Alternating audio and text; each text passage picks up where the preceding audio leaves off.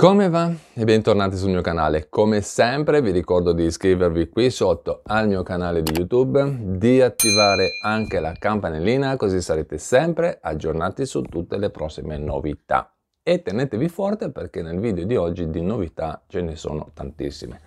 Intanto iniziamo con alcuni consigli, poi vi do alcune informazioni, cioè, quindi ci sono consigli informazioni e poi come sempre alla fine del video c'è la notizia di oggi e nella notizia di oggi parleremo di un argomento che avevo già annunciato in un precedente shorts, quei video ehm, non orizzontali ma quelli verticali, quelli da un minuto, di una notizia che, che arriva dall'Unione Europea e che riguarderebbe una questione monetaria, ma di questo ne parliamo alla fine del video. Quindi partiamo subito con la primissima notizia. Allora, voi lo sapete, l'altro giorno, la scorsa settimana, il sito internet dell'Inps è stato aggiornato e così mi avete scritto in tanti. Tra l'altro avevo scritto anche un post qui su YouTube dove vi informavo di questo cambiamento. Ma voi mi avete scritto in tantissimi sotto i video dicendomi che avete trovato difficile riuscire a entrare all'interno del sito internet. Così oggi vi spiego molto ma molto brevemente, ovviamente se no ci stiamo una giornata intera, come controllare RDC sul nuovo sito internet dell'IMS. Tra l'altro nelle informazioni che vi do non, se, non servirà solo per controllare eh, RDC ma anche per, per avere altre informazioni. E come vedrete la procedura è molto molto semplice. Intanto bisogna avere sotto mano tutte le credenziali per poter entrare all'interno del sito internet, quindi diciamo che partiamo dalla base che è lo SPID. Poi, tra l'altro, ricordatevi che da qualche giorno è attivo e comunque verrà attivato un po' alla volta anche il servizio di riconoscimento digitale. Brevemente, il riconoscimento digitale è una funzione che ha attivato l'IMS che serve per riconoscere le, le, apparecchiature che utilizzate quando entrate nel suo sito internet. Quindi se voi entrate con una, una eh, non so, un nuovo telefonino, un nuovo tablet, un nuovo computer che l'IMS non riconosce, eh, vi informa dicendomi oh attenzione, guarda che c'è qualcuno che sta cercando di accedere alla tua area riservata con un sistema che io non ho mai visto prima. Quindi confermi o non confermi, ma eventualmente di questo argomento poi ne parliamo bene in un altro momento, ecco. Quindi ora facciamo l'esempio per entrare nel sito internet dell'IMSS usando il fascicolo previdenziale. Allora, prima di tutto bisogna accedere al sito internet dell'IMSS e fino lì non c'è nessun problema, www.ims.it. Successivamente nella barra in alto c'è scritto, eh, dove c'è scritto ricerca, bisogna scrivere la frase fascicolo previdenziale. Premere invio dove c'è scritto ricerca, successivamente cliccare il tasto approfondisci, cioè praticamente viene fuori un, un elenco di cose, fascicolo previdenziale del cittadino, c'è scritto approfondisci vicino al primo risultato proprio dove c'è scritto fascicolo previdenziale. Dopodiché cliccare sul tasto blu utilizza lo strumento, a questo punto entrare nel sito usando una delle credenziali che utilizzate di solito, quindi non lo so, lo SPID, carta di identità elettronica, CNS, eccetera, eccetera, eccetera. Una volta entrati, che ovviamente avete messo username password che siete passati tramite SPID, nel menu a sinistra c'è un elenco di cose bisogna cliccare sulla, sulla sezione che c'è scritto prestazioni per vedere i dati che poi ovviamente eh, vi servono. Quindi come vedete è veramente veramente facile. Se non vi ricordate qualche passaggio basta tornare un attimino indietro a questo video, eh, vi prendete nota dei passaggi, ecco ve li scrivete e così insomma vi rimane un, un talloncino, uno specchietto scritto. Cambiamo argomento e parliamo di un'altra questione che riguarda sempre RDC ma sotto un'altra forma. Andiamo un po' veloci se no poi non ce la facciamo a parlare dell'argomento finale. In questi giorni pare che, di, ci, pare che ci sia di nuovo un grande caos nei pagamenti di RDC perché leggevo in giro che addirittura ci sono delle domande respinte. Partiamo subito dall'importo che è stato accreditato, cioè pagato, sulla carta di RDC, perché molti di voi mi avete scritto nei commenti che ci sono stati degli accrediti di appena 10 o 12 euro. Come ben sapete, l'INPS ha iniziato a pagare il RDC il 15 di questo mese e tutte le persone e famiglie che a suo tempo avevano fatto il rinnovo del sussidio e che quindi giustamente aspettavano l'accredito, molte di queste persone avevano all'interno del nucleo familiare una persona con disabilità al 100%. Quindi pare proprio che a queste famiglie siano stati pagati questi piccoli importi da 10-12 euro. Ma andiamo avanti, perché ci sono state anche delle famiglie che hanno aspettato il primo accredito del sussidio per poi vedersi respingere la domanda con delle motivazioni che sinceramente ancora non ho ben capito. Anzi, facciamo una bella cosa, facciamo così. Se a qualcuno di voi è stata respinta la domanda, fatemelo sapere qui sotto nei commenti Così vediamo di capire tutti quanti insieme che cosa potrebbe aver causato questo tipo di problema. Poi, sempre per aggiungere altre questioni, come vi avevo già detto anche in altri video, i tagli di RDC sono stati applicati per la maggior parte a tutti coloro che hanno ricevuto un aumento della pensione, dell'assegno sociale, della quattordicesima oppure la maggiorazione sulla pensione di invalidità che è riconosciuta agli invalidi civili totali, ciechi civili assoluti, sordomuti e inabili al lavoro. E allora la questione è come risolvere il problema. Intanto scrivete qui sotto nei commenti se avete avuto questo tipo di problema del taglio sull'importo che doveva essere pagato a metà mese con eventualmente anche la motivazione che vi ha dato l'IMS, perché se mi dite solo ho ricevuto, ho avuto questo problema, ma non mi dite anche il motivo, rimane un po' difficile da capire. E poi, oltre eh, a questo, magari sarebbe, ecco, vi do un consiglio, quindi il consiglio dell'esperto, sarebbe utile anche magari contattare il vostro consulente fiscale o il CAF per vedere se anche lui riesce a risolvere questo problema.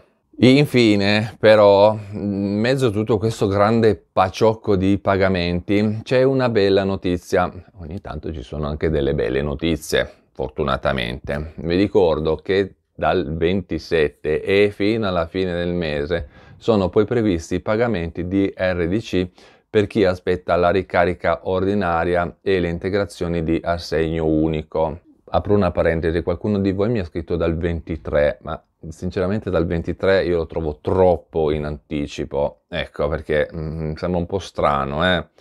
Comunque, nulla, mm, cioè niente potrebbe essere, ecco, e se dovesse essere un anticipo al 23, anche se mi sembra molto strano, ve lo farò sapere qui sotto nei commenti, oppure vi farò sapere poi un altro video, vi farò un video breve, vi metterò un post, insomma, in qualche modo ve lo faccio sapere. Cambiamo argomento e parliamo della notizia di oggi, quindi via alla sigla.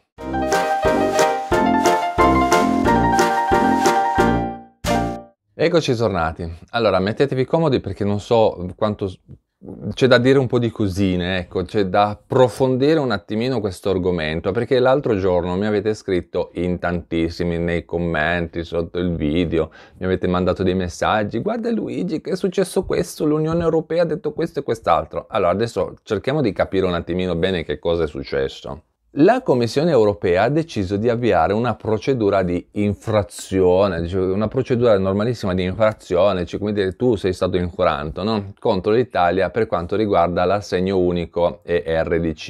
In base a quello che ha detto la Commissione europea, sembra proprio che il reddito di cittadinanza non sarebbe in linea, quindi non sarebbe a posto, con il diritto praticamente tutti i loro diritti, le loro leggi dell'Unione Europea su questi argomenti, che sono quattro questioni. Allora, la libera circolazione dei lavoratori, i diritti dei cittadini, i residenti e la protezione internazionale. Adesso, adesso, vi spiego bene che cosa vuol dire tutto questo. Allora, la Commissione europea avrebbe detto che le varie prestazioni assistenziali come anche appunto il reddito di cittadinanza, dice proprio così, dovrebbero essere pienamente accessibili ai cittadini dell'Unione Europea che sono lavoratori subordinati, quindi lavoratori dipendenti, lavoratori autonomi o che hanno perso il lavoro indipendentemente dalla loro storia di residenza. Dopo comunque, più avanti, cioè dopo nel video vi spiego bene che cosa vuol dire tutta questa frase, perché mi pare che nessuno lo abbia capito veramente che cosa vuol dire, perché per il motivo vero, vero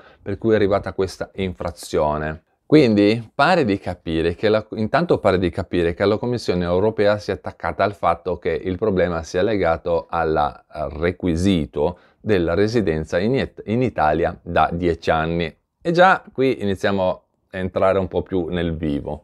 Poi non solo, perché la Commissione europea dice che il reddito di cittadinanza dovrebbe essere esteso anche ai cittadini comunitari, quindi tutti quelli che abitano eh, all'interno dell'Unione Europea che non, non, attenzione, che non lavorano per altri motivi, con la condizione che risiedono legalmente in Italia da più di tre mesi e soggiornanti di lungo periodo al di fuori dell'Unione Europea. Anche qui, detto così, si capisce poco. Ecco allora che quindi il requisito della residenza in Italia da 10 anni è considerato una discriminazione, una discriminante che non va bene, ecco. Ma non solo RDC, perché la Commissione europea si è attaccata anche all'assegno unico e ha aperto anche una procedura di infrazione sempre contro l'Italia sul nuovo assegno unico universale per i figli a carico di cui, dicono loro, ne possono usufruire solo le persone che risiedono in Italia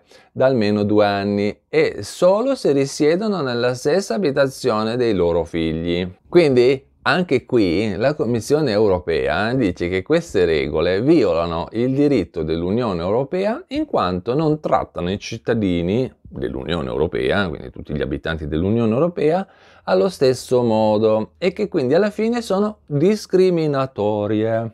Ma non solo, perché non si è attaccata solo a questi due, l'Unione Europea si è attaccata anche agli assegni familiari. Ovviamente non sono mancate le discussioni, le polemiche e, e, e il presidente Tridico tra l'altro ha detto, ha, ha detto, delle cosine, ha affermato qualcosa eh, che adesso vi dico. E questa parte qua l'ho presa, è una fonte che arriva direttamente dal Sole 24 ore. E lui dice i controlli su RDC non solo si possono fare, ma si sono sempre fatti. In questi anni abbiamo fatto controlli che hanno dato vita a circa 11 miliardi, 11 miliardi di euro di prestazioni non pagate, perché abbiamo verificato che coloro che facevano domanda non ne avevano diritto. E prosegue dicendo, abbiamo un tasso di rigetto delle domande all'anno di circa il 32%. Quindi su un milione di domande noi ne abbiamo rigettate 300.000 e in questi quattro anni noi abbiamo rigettato, e tra revoche e decadenze, complessivamente 3 milioni di domande. Eh, sono un bel numero di domande rifiutate, ecco. Poi ovviamente ha parlato anche eh, Calderone, però di questa parte qua la salto perché sennò diventa lungo come una quaresima e se volete sapere che cosa ha detto Calderone mh, mm, mh, mm, vi lascio poi il link qui sotto, ve lo andate a leggere tranquillamente. Quindi, conclusione finale su cosa veramente ha detto l'Unione Europea e su chi pagare e chi no. Allora, partiamo da questo fatto. Vi riprendo la frase che abbiamo detto all'inizio. Allora, l'Unione Europea dice dovrebbe essere pienamente accessibile ai cittadini dell'Unione Europea che sono lavoratori subordinati, eh, autonomi o che hanno perso il lavoro indipendentemente, udite bene, udite bene, dalla loro storia di residenza.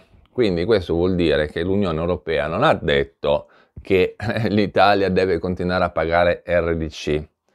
Anche perché io ne ho scoperta una nuova che poi vi metterò in un prossimo video. Eh? C'è una novità, ho scoperto una cosina nuova ma ve la metto poi in un prossimo video. Quindi detto questo, torniamo, torniamo a noi. Il, L'Unione Europea non ha detto, eh tu Italia devi continuare a pagare RDC. Attenzione, Italia, l'Unione Europea ha solo detto che per loro i dieci anni di residenza sono troppi. Ecco. E che quindi il, il um, RDC deve essere pagato indipendentemente da dove uno risiede.